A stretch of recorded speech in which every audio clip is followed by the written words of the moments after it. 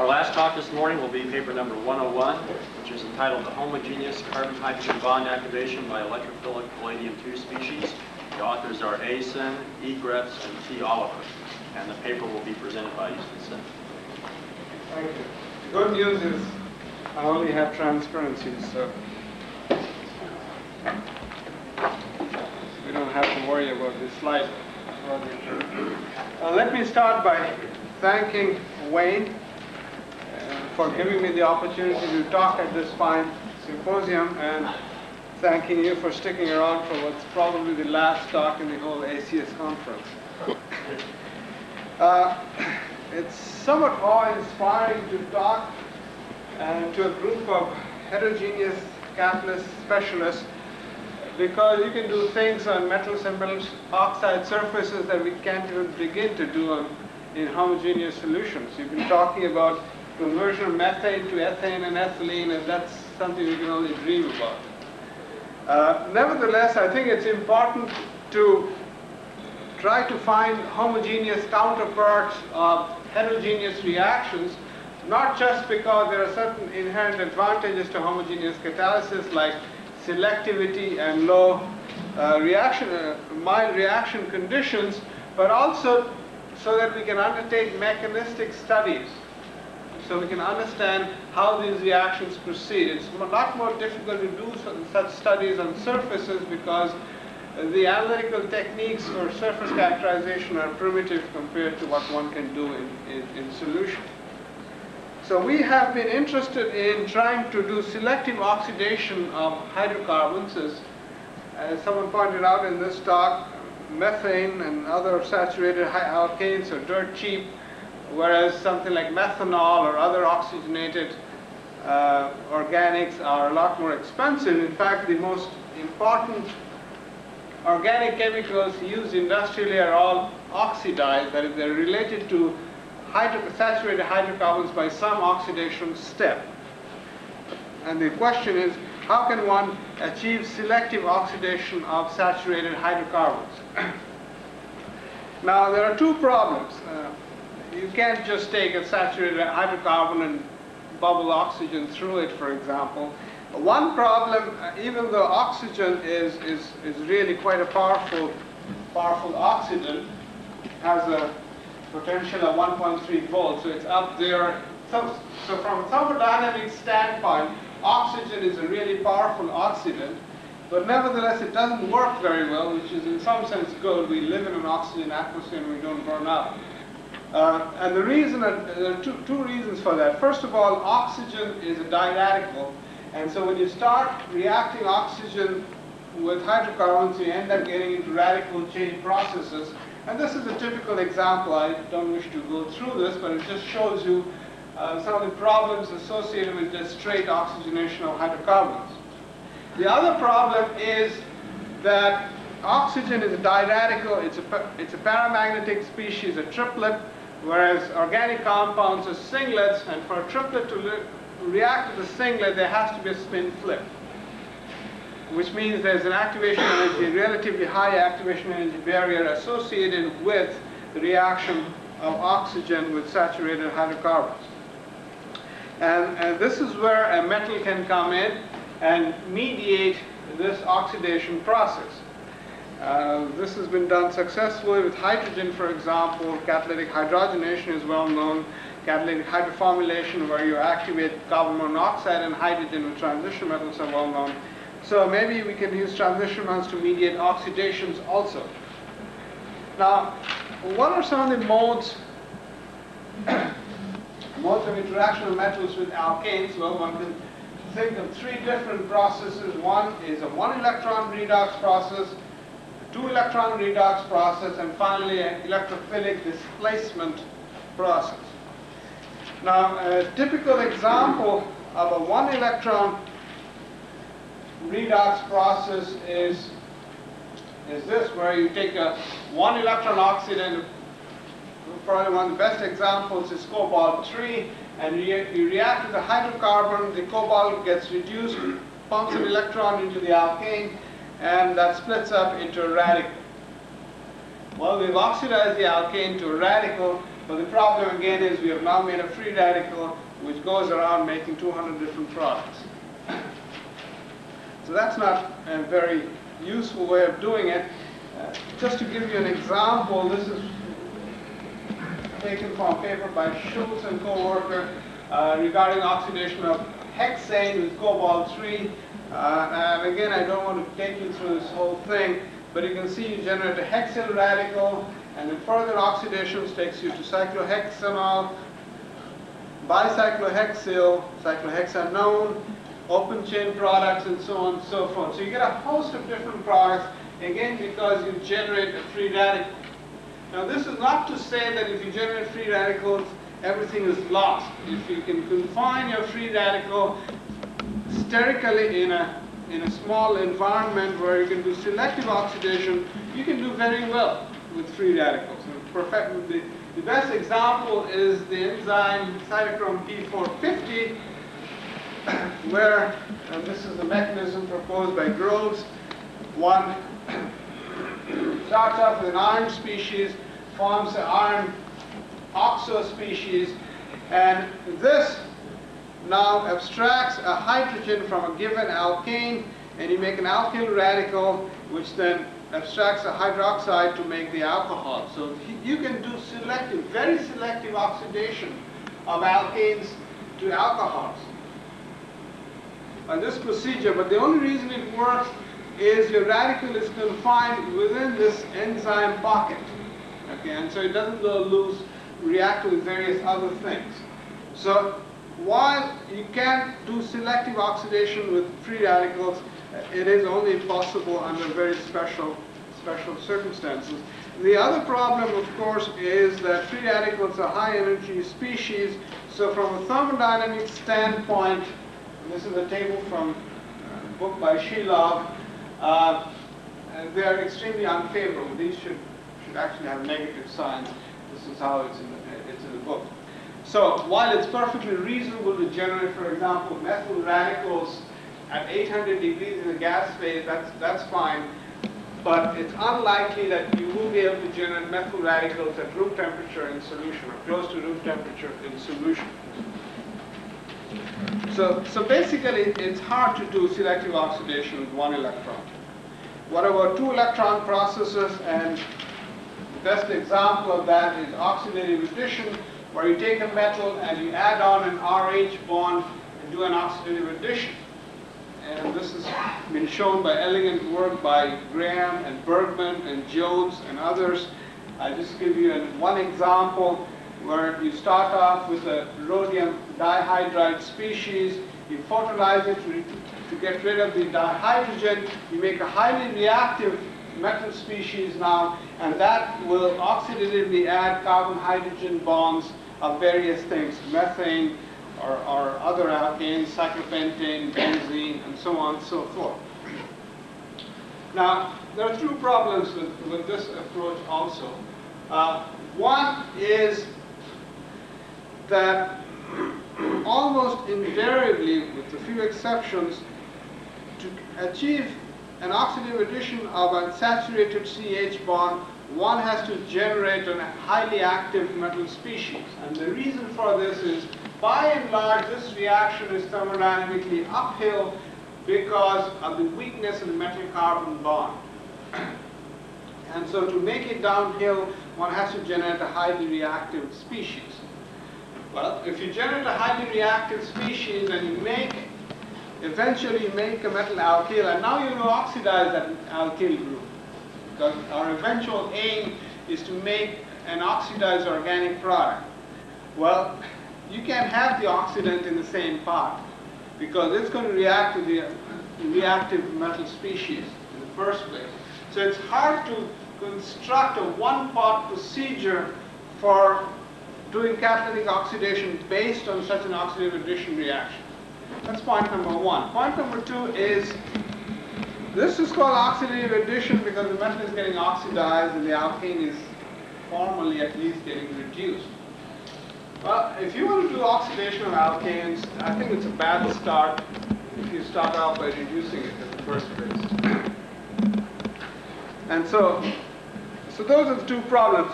But having said that, it's not impossible to construct catalytic cycles based on oxidative addition. And elegant work by Jones, for example, this is taken from his paper, where he takes benzene and in a catalytic cycle inserts isocyanide to make imines. And, and, and that's possible. But again, note, you need light to start this reaction off, so it's basically uh, uphill to start with. The third ap- approach that we have been working on is electrophilic displacement, where one takes a metal, which is a Lewis acid, and you do a heterolytic cleavage of the RH bond to generate a proton and a metal alkyl species. Note, there is no change in the oxidation state of the metal. This can be assisted by a base, for example, so that the base will react with the proton uh, and remove it, and thus assisting this reaction. This is, has, is precedented, for example, many years ago, Jack Halpern showed that in a similar heterolytic cleavage of hydrogen by silver, amines speeded up this reaction because of this base assistance where the amine went after the proton, the silver went after what's formerly the hydride, and to give you a uh, species like that. More recently, Wolczanski has shown using a metal imide that you can oxidatively add a carbon, uh, sorry, you can add a CH bond so that the carbon ends up on the metal, the hydrogen ends up on the imide ligand and makes it an amide ligand. So one can do a base-assisted procedure to achieve this. It's not necessary, but that, that's something to keep in mind. so what is, what is our grand scheme of oxidation using this procedure? Well, this is sort of a summary of that. Uh, we're going to take a metal, an electrophilic metal species, we're going to react it with an RH bond to make a metal alkyl plus a proton, and then we'll come in with an oxidant and oxidize the alkyl group present. And we want to use two electron oxidants because we do not wish to get into radical chemistry. Now this is this is not totally unprecedented because Shilov and co-workers in, in, Russia have shown that in using a combination of platinum-2 and platinum-4 reagents, that one can do this. He takes, for example, an RH uh, and in platinum dichloride, he believes he forms this species by heterolytic cleavage, and then he comes in with a platinum-4 species and oxidizes the R group to R chloride. So you go from an alkane to an alkene chloride by, by this, this procedure. and that seems to, uh, seems to work fine, uh, except that you don't want to use platinum 4 compounds as oxidant. That's not the most economical way of doing this. Uh, one other point I just want to point out is that in contrast to one electron oxidations where you generate radicals which are high energy species, uh, two electron oxidations are per perfectly decent processes. They're thermodynamically favorable. There's no problem with respect to that. yeah. Now, so getting back to this, uh, I want to concentrate on our work in this area. We've been only doing this for a few months, so it's mostly in, in strategic planning stage rather than lots of results. But nevertheless, I'll tell you about what we have achieved. Now, that oxidant. What sort of oxidant can we use? Well, being an organometallic chemist, chemist who deals with transition metals, obviously we turn to a transition metal for an oxidant. And we said, let's, let's make one metal do both of these steps. That is, we'll have the metal electrophilic enough to carry out the first step, and at the same time the metal should be an oxidant, so it'll do the next step. Okay, so one metal will do both the electrophilic displacement and the oxidation. And so the scheme would look something like this, where the metal does an electrophilic displacement, you make a metal alkyl, and then maybe a nucleophile will attack this alkyl group to give you the oxidized organic product. You reduce the metal down by two electrons, and perhaps with, with an oxid, uh, some other oxidant, preferably oxygen, we will get this back to the initial oxidation state. So the overall reaction is a two electron oxidation of the alkane to an oxidized product, the metal gets reduced and maybe we can recycle. So the question then is what sort of metal can one use? And this is this is an interesting, what I think is an interesting table of electron affinity values for different types of metals. And this is the electron affinity, this is promotion energy. And what you notice, and this surprises at first, is that uh, metals such as palladium and platinum have electron affinities which are comparable to main group Lewis acids such as zinc or cadmium or mercury. So they are up there in terms of electrophilicity. They're twice as electrophilic as silver, which is considered a reasonable electrophile by organic chemists. And they're up there with the, with the traditional main group electrophile. On the other hand, they have a low promotion energy. So that's where they differ from main group electrophiles. They have a low promotion energy, which means that they can back bond to an incoming alkane. One, and, and so form a stronger initial bonding to the alkane through back bonding. so they will bind, you, uh, they might bind alkanes more easily, but they're electrophilic enough that they can then activate the, the species. Not surprisingly, low valence transition metals have very low electron affinity, also they have very low promotion energy. So it seems that uh, palladium and platinum are, are, sort of ideal, and as I just pointed out, Shilov has done some nice work with platinum chemistry, which chose, chose palladium because of our previous work in, in, in palladium chemistry. So palladium is clearly a good electrophile, and some of our previous work testifies to that. For example, uh, palladium, one can do skeletal rearrangements in homogeneous solutions using palladium compounds. Uh, what happens is you electrophilically break the pi bond to make a carbocation there. And an example of a skeletal rearrangement is you take T-butylethylene in, in, the presence of this tetraacetonitrile palladium dication and you do a skeletal rearrangement. What happens is the palladium, palladium attacks a double bond, you do a heterolytic cleavage of the pi bond, you create a carbocationic center there. That's a secondary carbocation, so you have a methyl migration to a tertiary cation. So the cation is here, and then that loses protons, and eventually you end up getting, getting the product. So one can do activation of olefins, one can do activations of CC bonds, uh, for example, if you take a strained CC bond, the same species will heterolytically cleave the carbon-carbon bond to make a carbocation. And here's one example, catalytic example, where you take cyclopropane rings and you cleave one of these bonds and you have and to make these products. Uh, you can cleave here or here because these are the only two ways you can cleave it to make a tertiary stable carbocation. And this is preferred because technically this is more accessible than that because you methyl group there. And eventually you get these, these products. and one final example of a CH bond cleavage. This is also shown by us as well as Trost and others where one can take an olefin and add a palladium species and cleave an allylic CH bond electrophilically. So clearly both from that table of electron affinities and from these reactions, palladium is a very powerful electrophile. The next point to establish is the fact that palladium is also a good two-electron oxidant.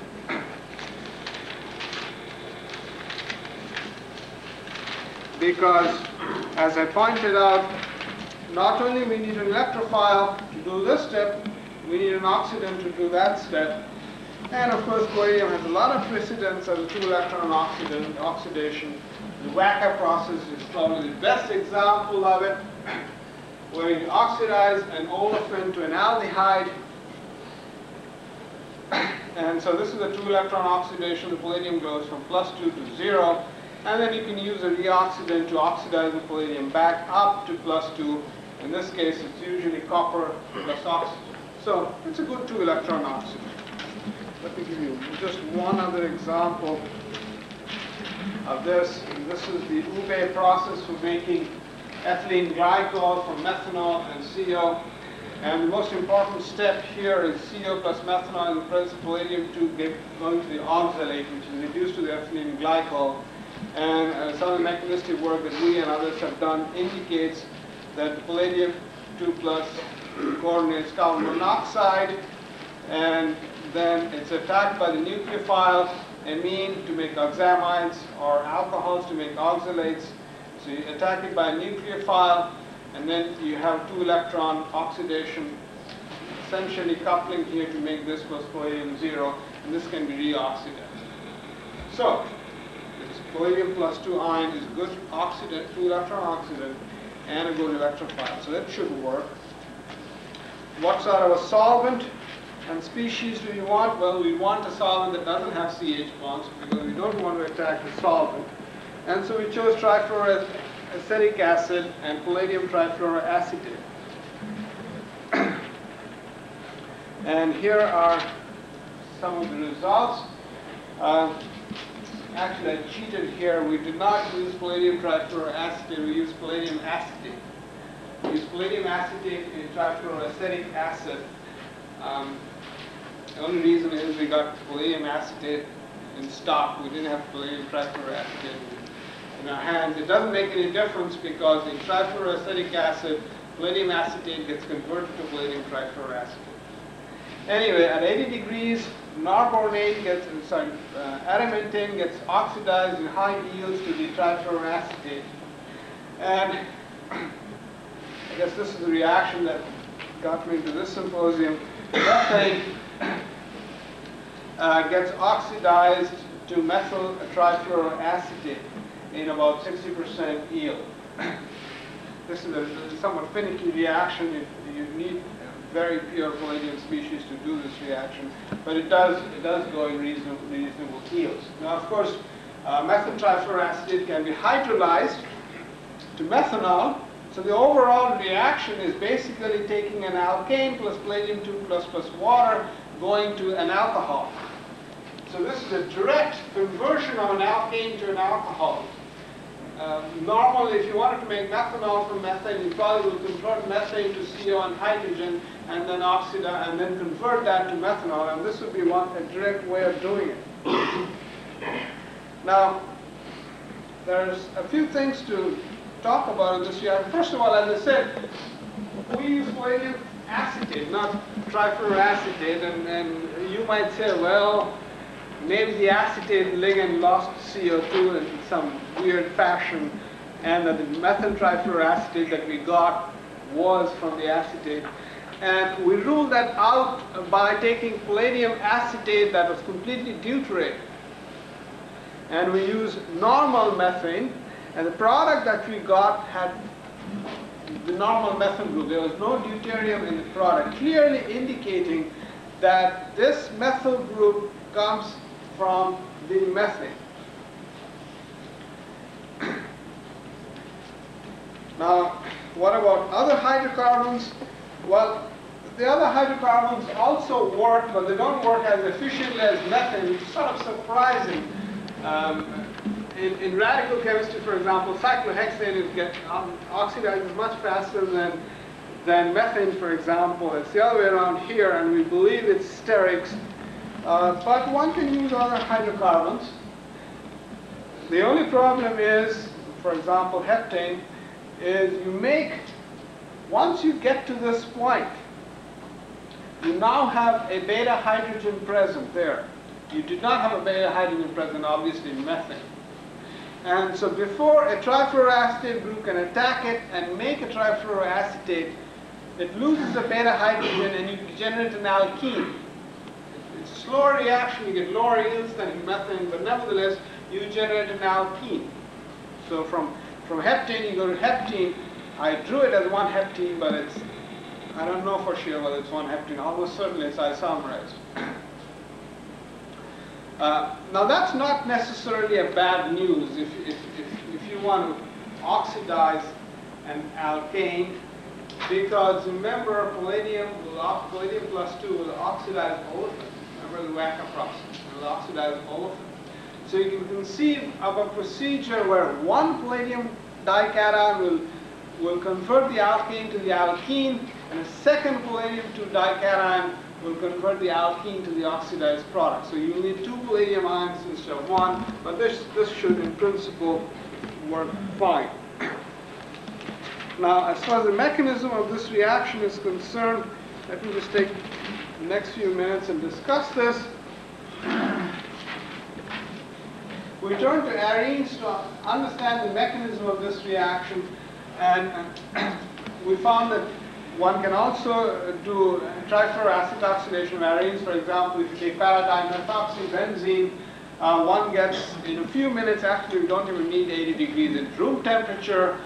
In fact, as soon as you mix this with palladium trifluoroacid, it starts going dark because palladium precipitates, and you make this species in 100% yield. If you use xylene, and here one has a choice of attacking the ring carbon-hydrogen bond or the benzylic carbon-hydrogen bond, and if there was any radical present, one should have seen attack on the benzylic CH bond because the benzyl radical is very stable. But instead we see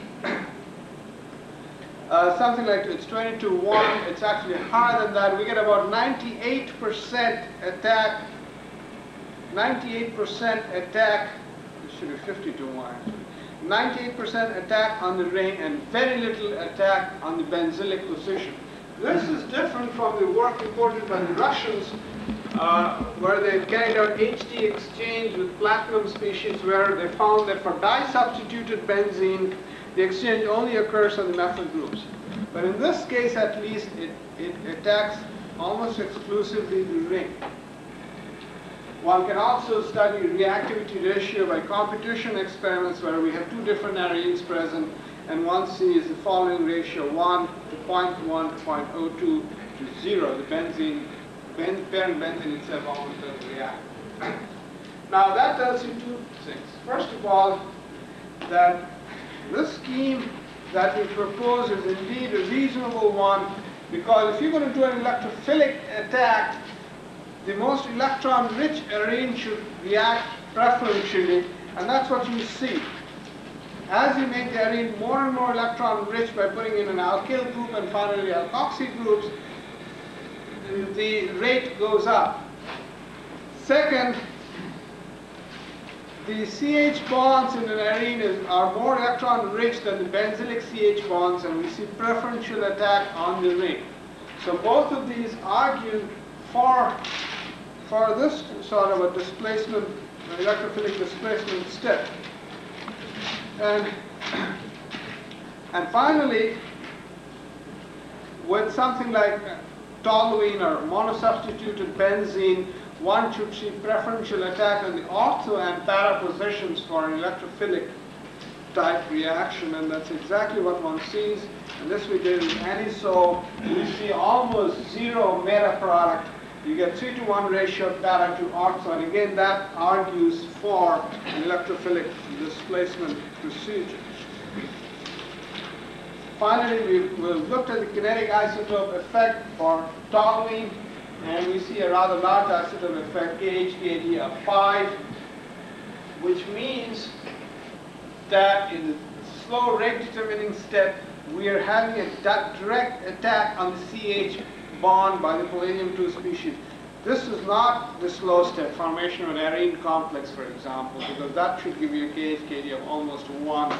Neither is the formation of a Wheland intermediate the slow step, because here again, uh, as has been seen with other electrophiles, you get a KHKD of 1.1, 1.2. So the large value that you see here clearly indicates that it's a direct attack on the CH, CH bond. So we have demonstrated that this, this sort of scheme does work. Uh, next question is, can one make it catalytic by adding an oxidant? And Of course, the ultimate oxidant we want is oxygen. But with our equipment, we're in no position to mix methane and oxygen at high pressures. For one thing, that, that's a no-no in, in our building. And so we have used other oxygens as a starter. Uh, and in this case, we've used uh, persulfate and dimethoxybenzene, and it works fine. You can get catalytic turnover and convert this to that, product, doing, doing a test. so it is, in principle, possible to carry this out in an oxidative sense. We're now turning to other saturated hydrocarbons. While it's, it's useful to oxidize arenes, it's, I think, a lot more challenging to oxidize alkanes, so that's, that's where we'll, we'll go next. Now, before I finish, let me take one minute and talk about uh, this mechanism again. Um, the way we've written it is we have cleaved the bond so that the electron pair remains with R. So formally this is R minus, this is proton. Now, of course we could do it the other way. That is, you make an H minus and an R plus. Now, it so happens that almost always it's this way because proton is a lot more stable than a carbocation. But if you want to try weird enough compounds, you can do it the other way. So we can do it this way where hydrogen ends up on the metal and we an R plus, and we did it by using cycloheptatriene, and this works because the tropylium cation is very stable. So in this case, this at the time of mixing, it's a really fast reaction. We generate the tropylium cation plus presumably the palladium hydride. We don't see it, but we certainly see quantitative formation of the tropylium cation. Well, I guess I've used up my time, so I'll stop here and acknowledge my students who did the work. And Effie Gretz, graduate student who was cycloheptatriene, and this works because the tropylium cation is very stable. So in this case, this, at the time of mixing, it's a really fast reaction. We generate the cation plus presumably the palladium hydride. We don't see it, but we certainly see quantitative formation of the tropylium cation. Well, I guess I've used up my time, so I'll stop here and acknowledge my students who did the work. And Effie Gretz, graduate student who was who got so fascinated with the chemistry he was doing that after he graduated, he left chemistry and went into an MD program. I guess he figured there's more money there. And Tom Oliver, a talented undergraduate who is now at Cornell, and the work was supported by U.S. Department of Energy. Finally, I thank you for your patience.